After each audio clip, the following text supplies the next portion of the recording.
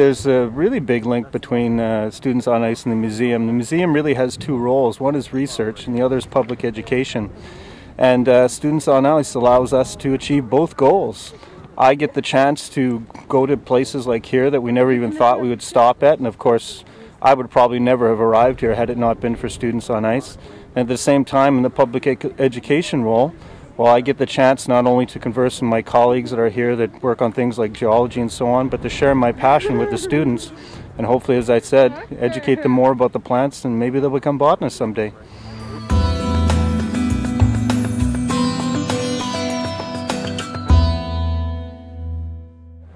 C'est sûr que d'être ici dans l'Arctique, euh, ça me permet de voir sur le terrain euh, beaucoup de choses qu'on représente euh, au biodôme et dont on parle beaucoup aux visiteurs, aux groupes scolaires.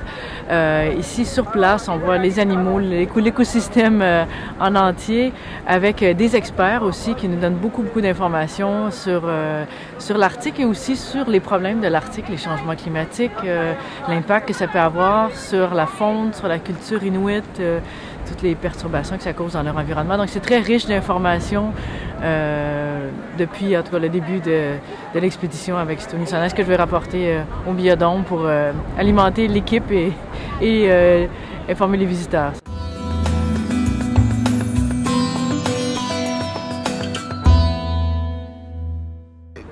In Manitoba, we do have Arctic regions. We have Churchill and uh, the whole Hudson Bay coast uh, up in the northern areas. Uh, it's very important to us. Uh, it's a very important region to us.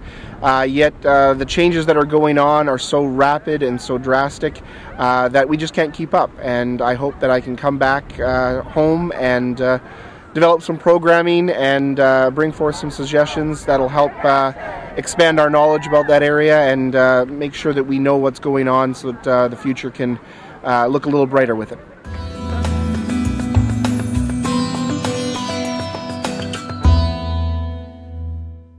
Uh, I got to see it firsthand, which is an incredibly valuable experience to be able to take back that firsthand knowledge uh, to the museum. And so when I'm talking to visitors and interpreting, I can say that, you know, my own personal experiences rather than things that I've read in a book, kind of.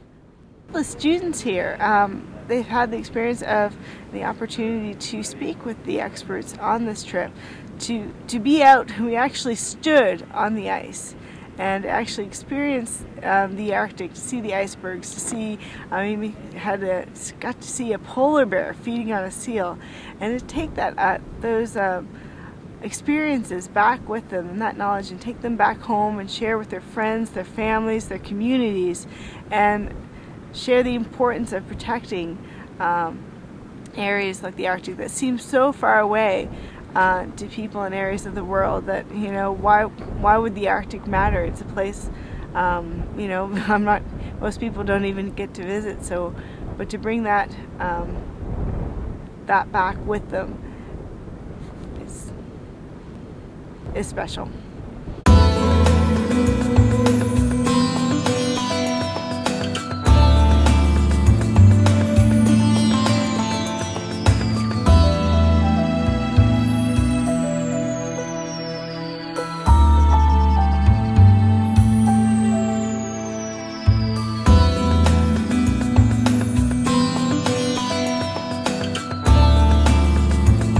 I think Students on Ice is a fantastic uh, concept and a great program.